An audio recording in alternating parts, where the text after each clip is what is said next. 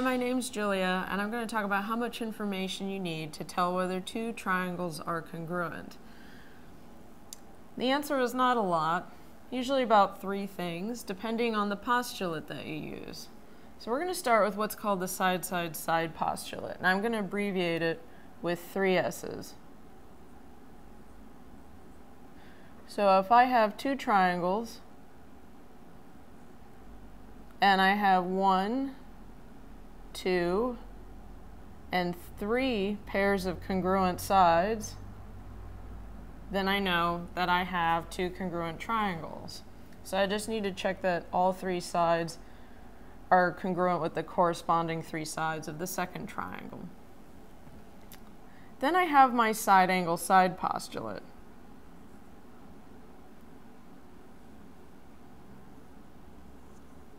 And in this case, I have one pair of sides. I have what's called an included angle. I'll explain that in a minute. And then a second pair of congruent sides. So the included angle means that the pair of angles that are congruent fall between the two congruent corresponding sides. So if I had this angle and this angle and these two sides, that does not qualify because this angle is not in between these two sides. I need this angle, the included angle. And then kind of the inverse of that is the angle side angle, where I have one pair congruent angles, an included congruent pair of sides, and then another pair of congruent angles angle, side, angle, angle, side, angle. Again, it needs to be the included side.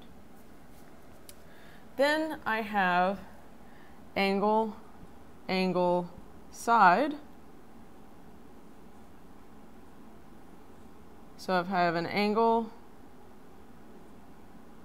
another angle, and then a side, a non-included side, I have two congruent triangles. And then the final one is called the hypotenuse leg theorem.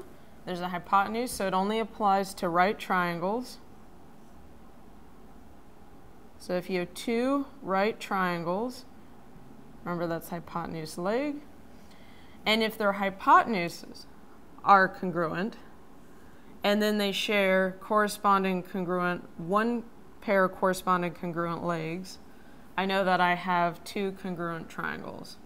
So in general, you need to see that there are three things that are three corresponding parts that are congruent to tell that you have congruent triangles. My name's Julia. Thank you.